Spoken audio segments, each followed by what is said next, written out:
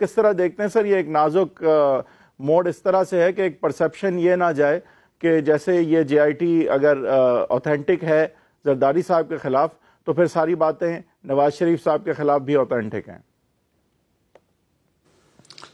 دیکھیں، میں سمجھتا ہوں کہ آپ نے درست کہا کہ پی ٹی آئی کی لیڈرشپ جو ہے وہ پوری کوشش کر رہی ہے کہ دونوں جماعتوں کو ایسے شو کرے کہ یہ دونوں ایک ساتھ تھیں اور یہاں پہ ان کا کوئی جوائنٹ وینچر تھا۔ حالانکہ بہت سارے لوگ ہیں جو پی ٹی آئی چھوڑ کے اس میں گئے ہیں جو پیپلز پارٹی کو چھوڑ کے پی ٹی آئی میں گئے ہیں۔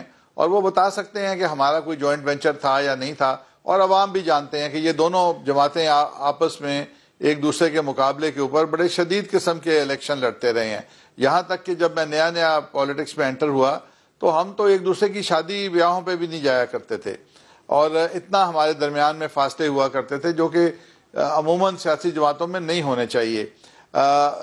لیکن پی ٹی آئی کی پوری کوشش ہے کہ وہ اپنی بلیم گیم کے اندر، لیکن مجھے یہ سمجھ نہیں آتا کہ یہ کیا سمجھتے ہیں کہ اگر ہم لوگ برے ہیں پیپلز پارٹی بری ہے، پی ٹی آئی بری ہے، تو ہمیں برا کہنے سے کیا یہ اچھے بن جائیں گے؟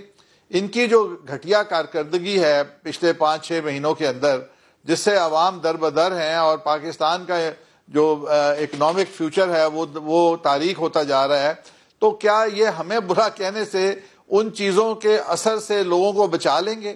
جیسے ان کو اندازہ نہیں ہو رہا کہ بازار بند ہو رہے ہیں، کاروبار بند ہو رہے ہیں، لوگ مایوس ہو رہے ہیں پاکستان میں فورن ڈائریکٹ انویسٹمنٹ تاریخ کے یہ بات تو نیچے درست ہے کہ نئے پاکستان کے لیے محض ان کے مطابق پرانا پاکستان ختم کرانا ہی کافی نہیں ہے ان کو اپنی پرفارمنس بھی دکھانی پڑے گی۔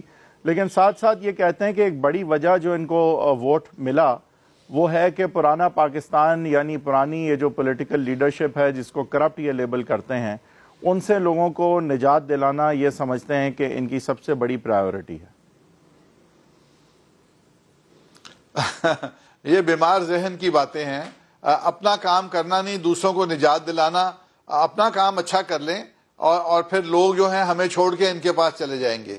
اگر نجات دلانی ہے الزام تراشی کے ساتھ، تو پھر تو میرا خیال نہیں جائیں گے۔ الزامات تو بڑے گھنونے ہیں۔